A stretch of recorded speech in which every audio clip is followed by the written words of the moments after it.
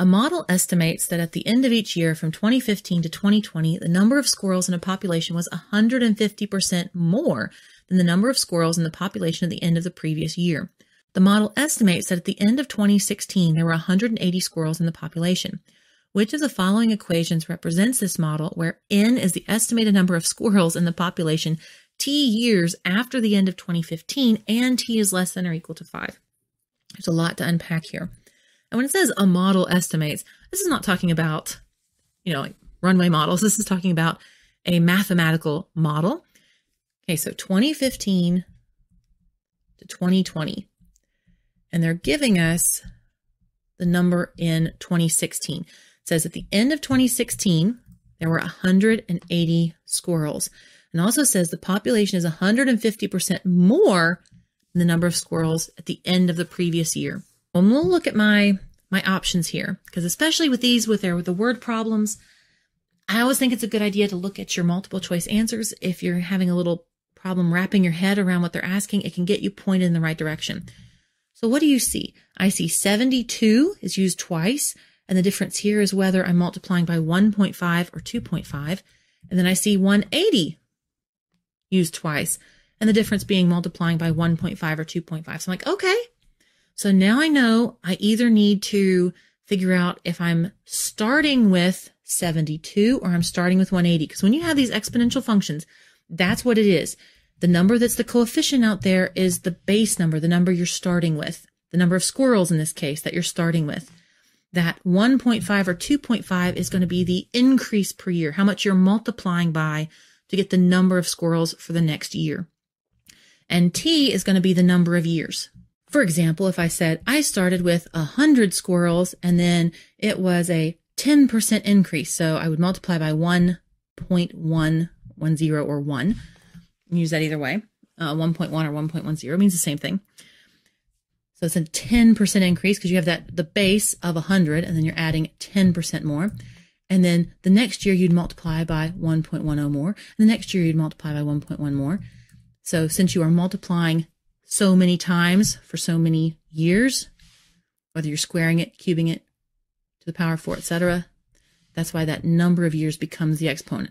It's like, oh, two years, I multiplied it twice. Ah, I can just write that as to the power of two. Two years. That's where this is coming from. So our question we first need to ask is, are we starting at 72 or are we starting at 180? Well, at the end of 2016, there was 180, but they want to know the model that starts at the end of 2015. So even before I've done the math, I know it's not going to be 180 because there were fewer squirrels in 2015. So I know C and D are out. I know that 2015 there were 72 squirrels. Now, they have given you a huge boost right here. They really have.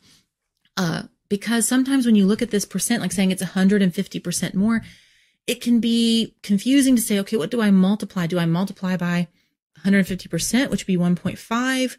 Do I need to add one to that? What do I need to? Mm, it, it can be trick, tricky and it can trip you up. I get it. So here, by them only giving us the options of 72 or 180. And since we know we're starting in 2015, a year earlier when there were fewer squirrels, we know it can't be 180 as our beginning number. It has to be 72. You don't really have to know how to do the increase by 150%. You don't have to worry about getting that wrong because all you have to do is say 72 times what equals 180. What did they multiply by that first year to get from 72 to 180? So 72 times our unknown, our x equals 180. We can just divide that in our calculator and it is 2.5. x is 2.5. So right now I know my answer is B. I had to multiply by 2.5 to get to 2016. I multiply by 2.5 again to get to 2017. And so that's the honestly, that's the shorthand and the way to confirm that it's right because they've given you the starting point essentially because you know 180 can't be it. So they've told you the starting point is 72. And then you just have to go, okay, what do I multiply 72 by to get to 180? So they're, they're really helping you out with those answers. If this was a question where you didn't have those um, options there, or if they were a little more varied, the way that you would get this is an increase of 150%. 150% or 1.5, 1.50, same thing, is being added to that 72. They're not asking you what is 150% of 72. They're saying I started with 72 and then I added 150% of 72. So this is one whole number and this is 150% of that number. So it is 1 plus 1.5. So that is 100% of the value plus 150% of the value gets you your final value. So each year it is, the total is 250% of the original, or you can say that as 150% more than the original. Again, that can be confusing and it can be easy to get tripped up that's why I say here, just once you figure out that 72 is the starting and just go, okay, what do I have to multiply to get to 180 is a really quick, simple way using your calculator to confirm it's 2.5. That's my answer and move on. If this was helpful or useful in any way, please like, share, subscribe. You know the drill. Thank you so much for stopping by. Hope you have a great day. See you later. Bye.